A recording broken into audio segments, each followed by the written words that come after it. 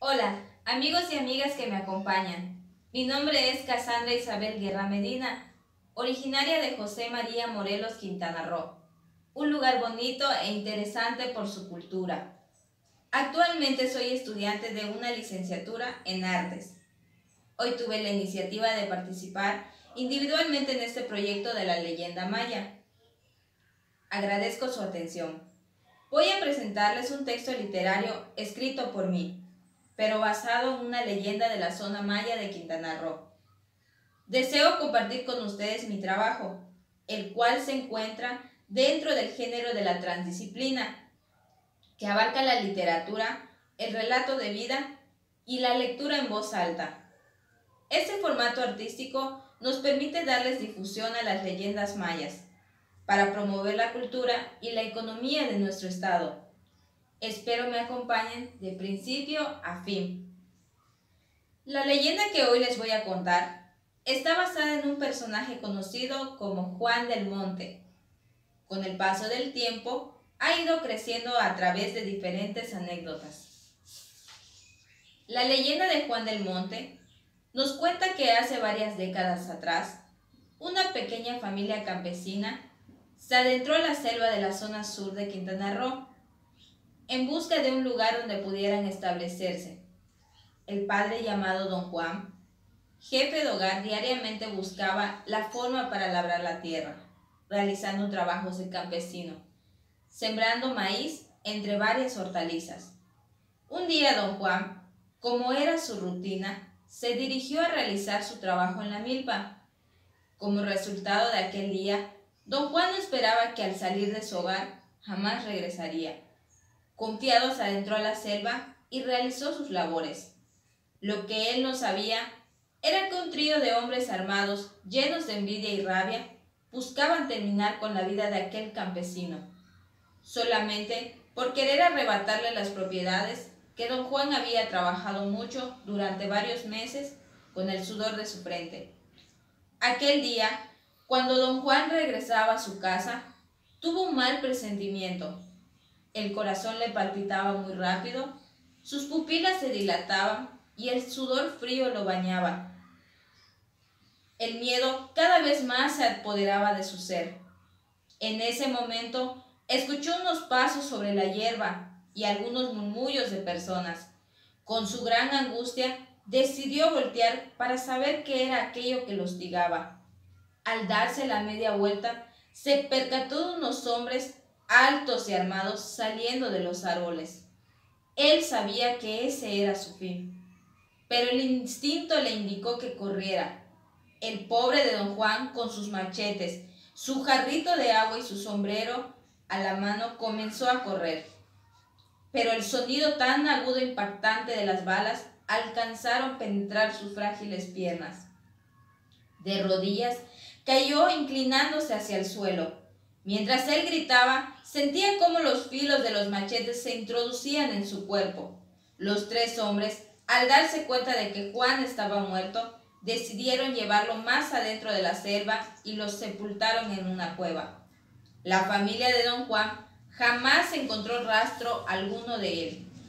Se cuenta que el alma de don Juan fue adoptada por la madre naturaleza, convirtiéndose en el dueño de la selva y del monte. Buscando venganza, contra aquellos que antes de entrar a sus tierras no le pidan permiso. Los castiga de tal forma que los pierden o simplemente jamás vuelven a salir de la selva, quedándose las pobres víctimas en el olvido.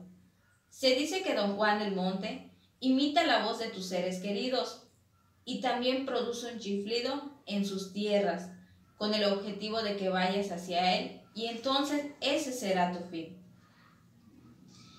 Muchas personas no toman en serio los relatos de las abuelas y los abuelos en la zona maya. En mi opinión considero que la vivencia de nuestros antepasados tiene mucho de real en la actualidad.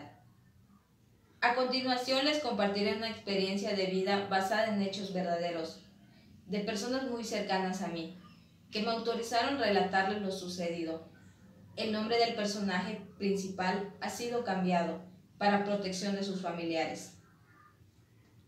Siendo las 12 horas de un inesperado día de abril del año 2009, especialistas en criminología de campo presentaron la evidencia confidencial a través de fotografías donde se observan los objetos del desaparecido e imágenes del lugar de los hechos donde presuntamente se vio por última vez a don Lucho Marcial.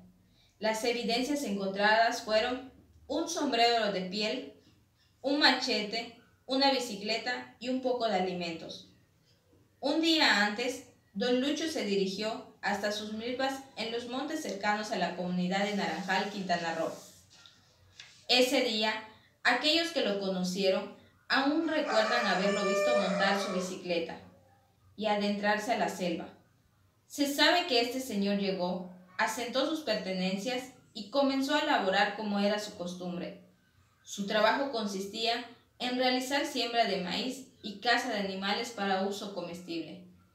La tragedia comienza la noche en que aquel hombre ya no regresó a su casa en la localidad de José María Morelos.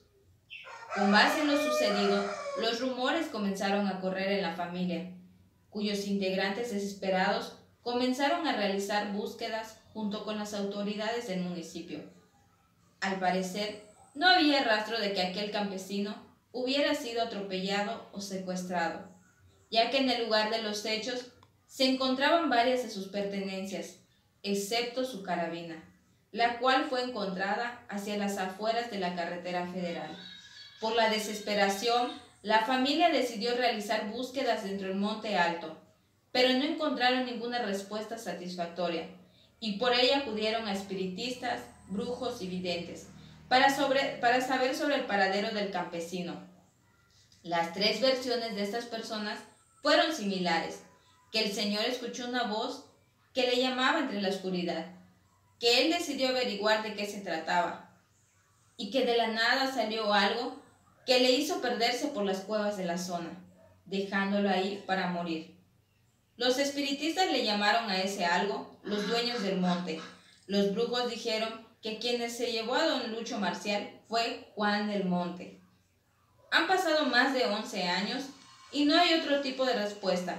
El cuerpo de don Lucho Marcial nunca fue encontrado.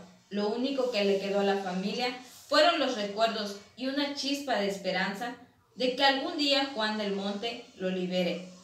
Por lo anterior, les digo, jóvenes, señoritas, señores, señoras y personas de todas las edades y todas las culturas, primero conozcan las leyendas y creencias que todavía se tienen en los pueblos de Quintana Roo, antes de caminar hacia lo profundo de las enigmáticas y frondosas selvas. Gracias.